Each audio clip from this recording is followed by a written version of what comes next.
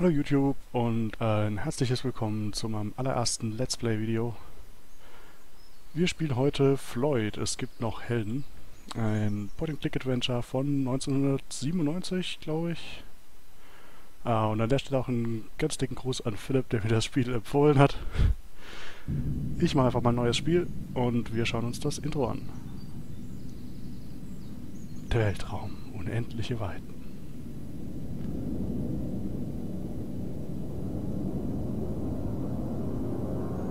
Fliegende Buchstaben und äh, ah, Adventure Soft.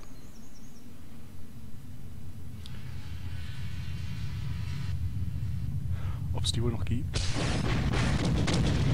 Ja, wahrscheinlich nicht. Wir sind ja gerade in einer riesigen Explosion gestorben.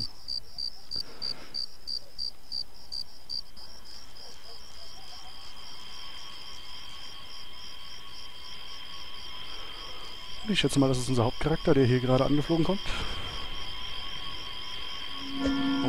Ähm, okay. Ah, er macht Kornkreise.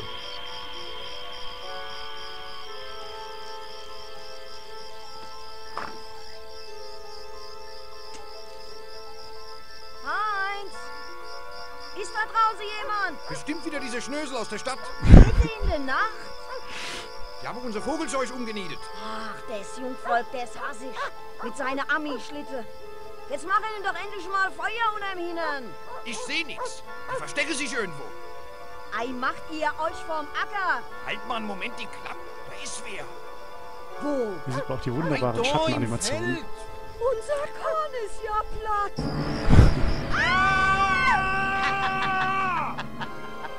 Da, da lacht er.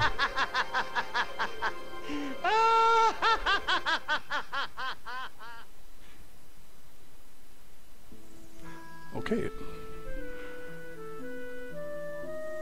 Soweit ich das gesehen habe, kommt da jetzt gleich noch ein weiterer Teil vom Intro. Aber jetzt lernen wir erstmal, wer hier alles mitgearbeitet hat im Spiel. David Jeffries, David Cockburn und ganz viele andere, die, ähm, ja, niemand kennt. Aber ihr seid hier verewigt. Dieser wunderschönen Credit Screen.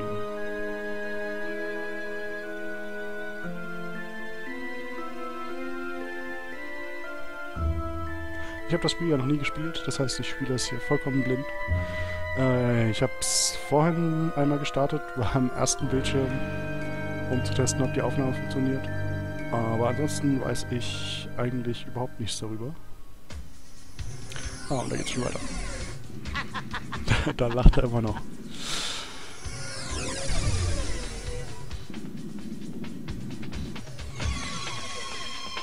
Achtung, Achtung, Achtung, Achtung. Immer gut, wenn Warnungen sehr spezifisch sind. Eintritt Asteroidengürtel. Zusatzmanöver erforderlich. Bitte warten. Optionsprüfung. Aktiv. Bitte warten. Bitte warten. Das ist alles. Einen schönen Ort. Man sieht auch, in der Zukunft gibt es noch das Äquivalent zur Windows-Sanduhr. Ja, wobei, es ist eigentlich die Gegenwart. Sah zumindest so von der Erde her so aus.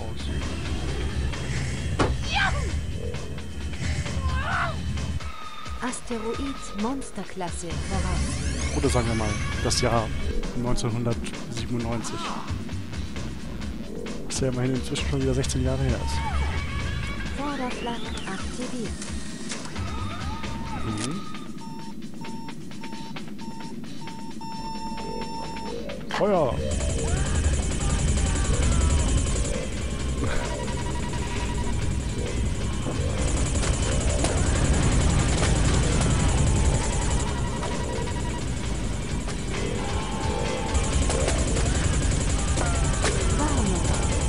Warnung. Munition erschöpft. Oh oh.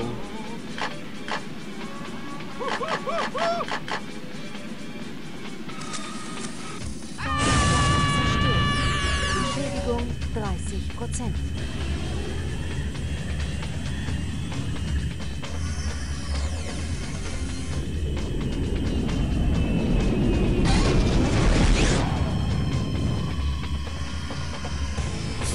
Frage, wo landet er?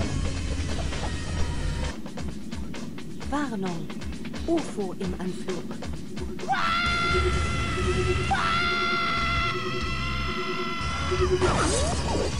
Ups.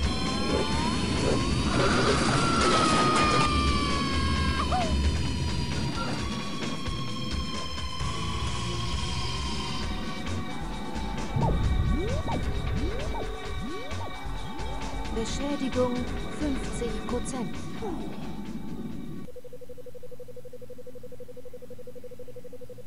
Also das Intro ist auf jeden Fall schon mal länger, als ich erwartet habe. Ich habe das vorhin immer übersprungen. Ähm, Einfliegendes Fahrzeug, Landung freigegeben, Dock 43. Danke, Bürger. ich hoffe, ihr nehmt mir das nicht Sieht aus, übel, dass als ich hier jetzt einfach drüber rede, aber so viel. Text ist ja jetzt wirklich nicht. Mich hat eine Sonde gestreift. Ein Eine beschädigtes Sonde, ja. Raumfahrzeug gefahren, bestätigen Weisung 3433 Bürger. Das sollte unverzüglich einen Vollstrecker gemeldet werden.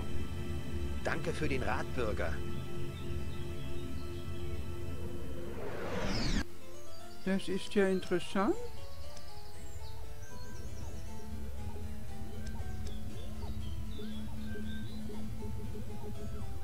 Die Sonde ist offenbar nicht vom Konzern gebaut worden. Ihr Code führt direkt.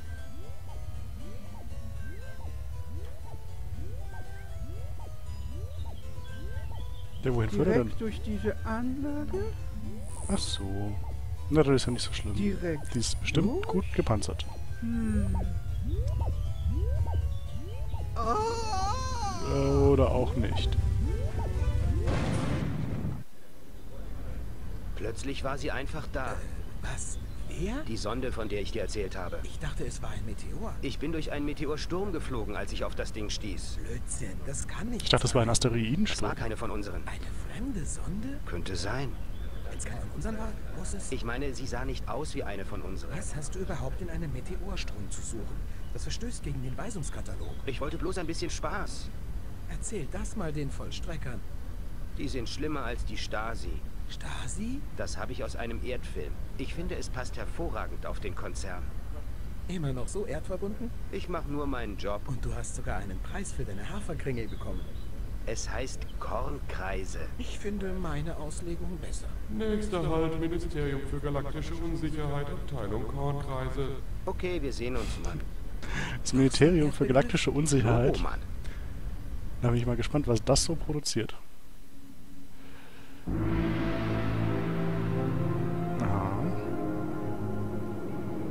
Ja, ich glaube so, das erste Video wird einfach mal nur Intro.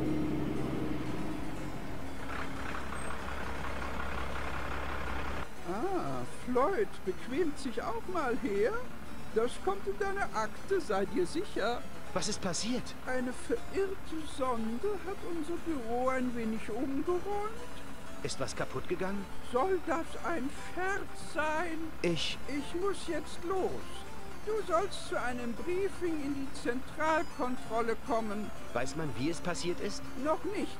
Aber ich möchte nicht der Schuldige sein. Der Konzern ist recht humorlos, was solche Dinge angeht. Na toll. So, da sind wir endlich im Spiel. Los geht's. Und wir können jetzt hier herumlaufen. Und ich, soweit ich das gesehen habe, kann man auf dem ersten Screen nichts machen, als hier reinzugehen. Woraufhin noch eine weitere Sequenz erscheint. Ach du Schande. Ja.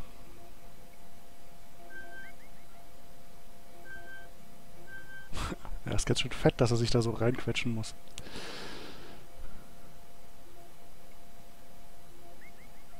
Ich aktiviere am besten die Autoreparatur. Andererseits spricht einiges dafür, die Finger davon zu lassen. Ja, bei deinen Reparaturfähigkeiten lass mal lieber sein. So, jetzt haben wir endlich volle Kontrolle hier über das Spiel, können rumlaufen und Sachen tun. Ähm, wenn man hier rechts klickt, kann man durch die verschiedenen Optionen durchschalten, also das hier ist wohl anschauen.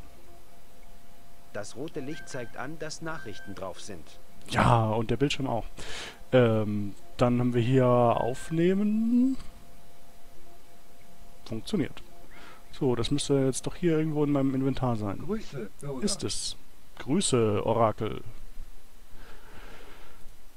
Äh, ich will es anschauen. Mein liebstes Souvenir. Ich habe die Puppe von meinem letzten Erdtrip mitgebracht. Na toll, und wen stellt sie da? Zu wenig Pixel. Wir brauchen mehr Pixel. Ähm, dann das hier ist wohl benutzen.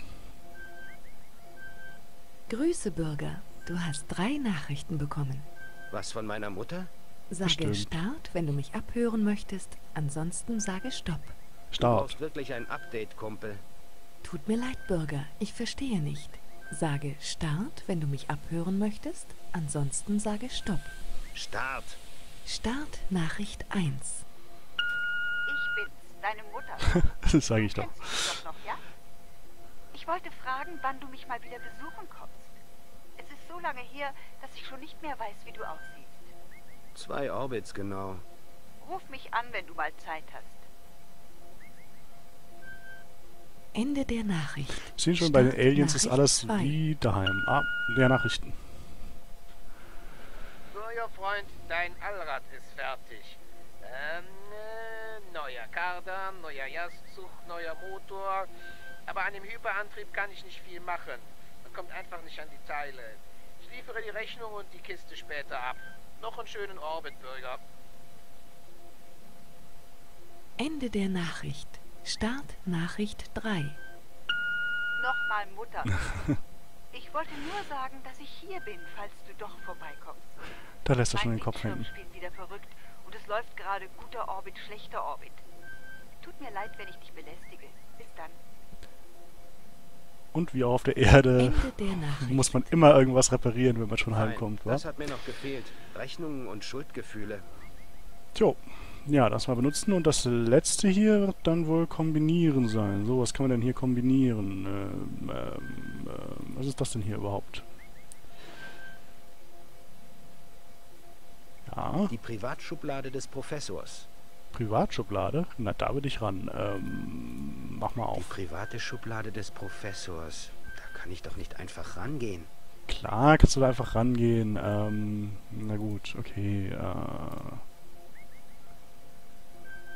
Äußerst nützliches Gerät. Wenn es denn funktioniert. aber was tut es denn überhaupt? Das hättest du mir jetzt auch mal sagen können. Ähm, Das Ding betrete ich nicht. Ein kaputter Teleporter kann deine Moleküle völlig umsortieren. Aha, ein Teleporter, okay. Ähm, ja, wenn man hier über Objekte fährt, die man benutzen kann, dann äh, macht er hier Fingerübungen. Das ist schon mal sehr nützlich. Dann, das erleichtert einem wenigstens den Bildschirm hier abzusuchen nach Objekten, die was bringen. Ähm, ich finde allerdings jetzt nicht so viel hier ansonsten. Joa, draußen sah es ja jetzt auch nicht so aus, als gäbe es da noch was. Ich versuche mal rauszugehen. Ja. Na also, da ist unser ähm, Allrad geliefert worden. Das kann man aber jetzt bestimmt benutzen. Benutzen. Selbst Nein, nicht nehmen. Ah, benutzen. Zuwiderhandlungen der Sicherheits- und Kleidungsvorschriften beim Lenken eines offenen Fahrzeugs ist ein Verstoß gegen Weisung 6343. Ja, und was soll ich da jetzt dagegen machen? Eieiei, immer nur beschweren, beschweren. Mm. Lass mal ansehen, das Rad. Mein Motorrad. Mhm. Was hat er beim Aufnehmen gesagt? Selbst wenn ich es könnte, warum sollte ich das tun? Ähm, Laut Weisung 742 ist zu spät kommen bei einem Vorgesetzten ein Vergehen. Ich sollte jetzt wirklich los. ja, da will ich doch. Also, benutzt doch das Ding. Ich habe heute bereits eine fette Rechnung und einen fetten Eintrag in die Akte bekommen. Es ist nicht nötig, dem noch einen Verstoß gegen die Kleidervorschrift zuzufügen. Okay, okay, okay. Du brauchst andere Kleidung. Alles klar.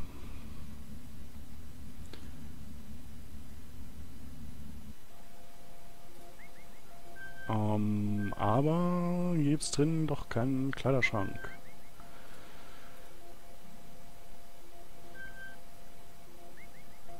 Ähm, Grüße, Bürger. Was haben wir denn hier alles?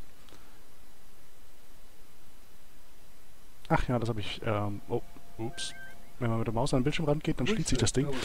Das hier habe ich vorhin schon gesehen, das ist eine Enzyklopädie mit ähm, jeder Menge Einträgen. M, Zwar wirklich jeder Menge Einträgen. Ähm, und noch mehr Einträgen und überhaupt? So, 6343 war doch die Weisung über die Kleiderordnung. Weisung 6343. Bürger, die offene Fahrzeuge fliegen, dürfen keine Arbeitskleidung des Konzerns tragen. Das Tragen eines Helmes ist Pflicht. Okay. Wir brauchen einen Helm und wir brauchen andere Kleidung. Können wir nicht die Kleidung der Puppe zum Beispiel nehmen? Toll. Und was nützt mir das? Ja, pff, weiß ich doch nicht. Grüße. Können wir die Puppe benutzen mit irgendwas? Ich teste ihn damit. Ja, gute Idee. Ähm, ist ja ein toller Teleporter. Gut, aber ich schätze mal, die Kleidung hätten wir damit, wa? Ja, sehr wunderschön. Ähm. Grüße, Bürger. Ah ja, hat die Jacke genommen. Die möchte ich doch anziehen.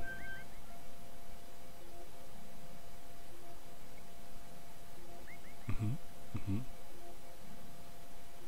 Die wird auf weibliche Bürger bestimmt Eindruck machen.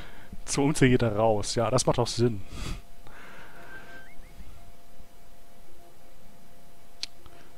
Okay, jetzt brauchen wir nur noch einen Helm. Äh, ich guck mal trotzdem, ob er jetzt vielleicht trotzdem jetzt schon losfliegt.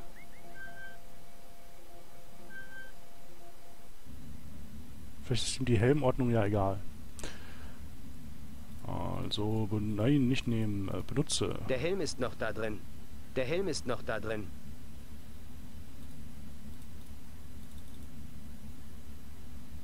Wo ist der Helm drin? Selbst wenn ich es könnte. Im Haus. Ja, wo denn?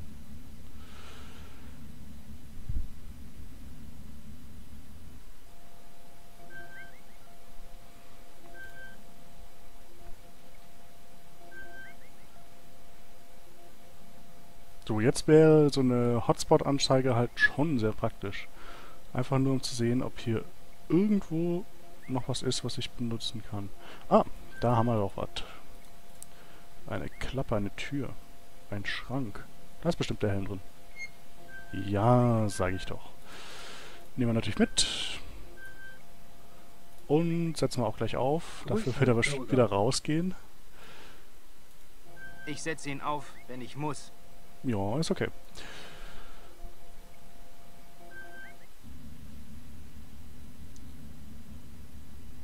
Und mit dem langen Intro sind wir damit eigentlich schon wieder ganz ordentlich dabei mit der Zeit.